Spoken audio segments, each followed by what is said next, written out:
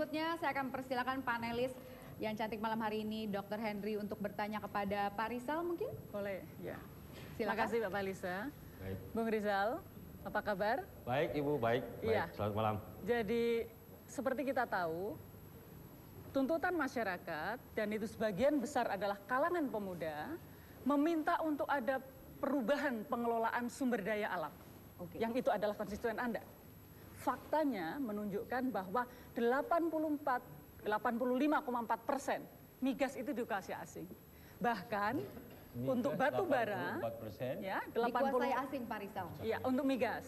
Bahkan untuk batu bara ini dikuasai oleh perorangan dan bahkan digunakan untuk pembiayaan pemilu.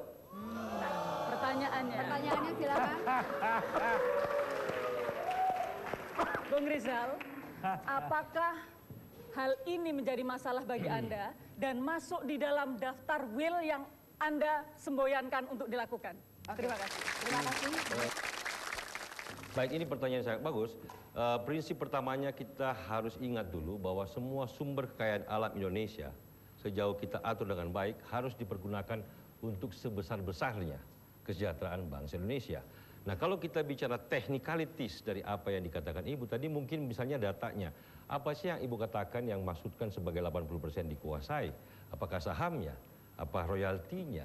Atau pembagian hasilnya? Karena kalau kita bicara soal kekayaan alam, Ibu, masalahnya bukan hanya penguasaan 80%. Betul, betul. Kita lihat juga pada splitnya, kita lihat juga pada pengelolaannya.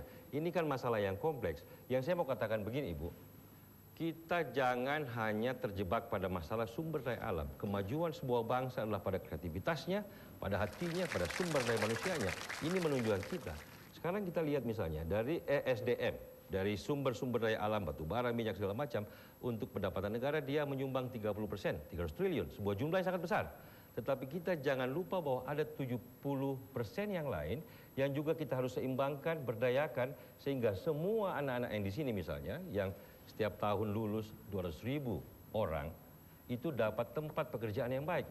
Semua ini harus diabdikan untuk membuka pekerjaan, memberi kehidupan kepada mereka generasi baru Indonesia agar mereka dapat kehidupan yang baik.